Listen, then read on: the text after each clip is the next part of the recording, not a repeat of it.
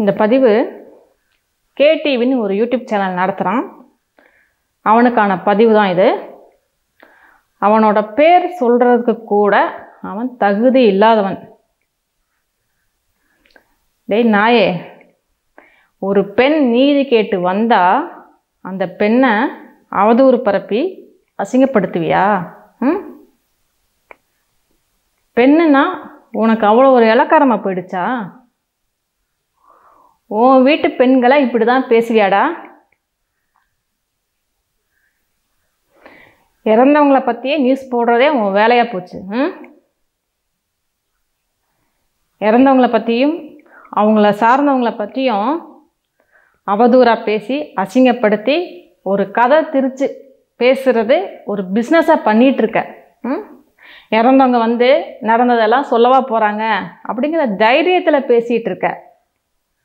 நல்லா தெரிஞ்சுக்க. உண்மையா உணர்வா தனி ஆளாக நின்று போராடுனா அவங்க பின்னாடி அந்த இயற்கையே அந்த இறைவனே அரணா நின்று சத்தியத்தை ஜெயிக்க வைக்கும். தெரிஞ்சுக்க. உன்ன மாதிரி ஈனப்பிறவி ஒரு கூட்டமே வந்து அதை தடுத்து நிறுத்த முயற்சி பண்ணாலும் ஒன்றும் பண்ண முடியாது. நீ விதைச்ச வினையெல்லாம் அறுவடை செய்வதற்கான காலம் ஆரம்பிச்சிருச்சு. இயற்கையின் விதியிலிருந்து நீ தப்பிக்கவே முடியாது. பெண்கள் பொது வழிக்கு வரும்போது அது நியாயம் கேட்டு வந்தாலும் சரி பொது சேவைக்கு வந்தாலும் சரி இந்த மாதிரி கேடுகட்ட மனிதர்களால் உங்களை அசிங்கப்படுத்தி அவதூறு பரப்பி உங்களோட முன்னேற்றத்தை தடுக்கணும். அதற்காக தான் அவங்க இந்த யுக்தியை கையில் எடுக்கிறதே அதற்காக தான். நீங்கள் வந்த வேலையை நிப்பாட்டணும்.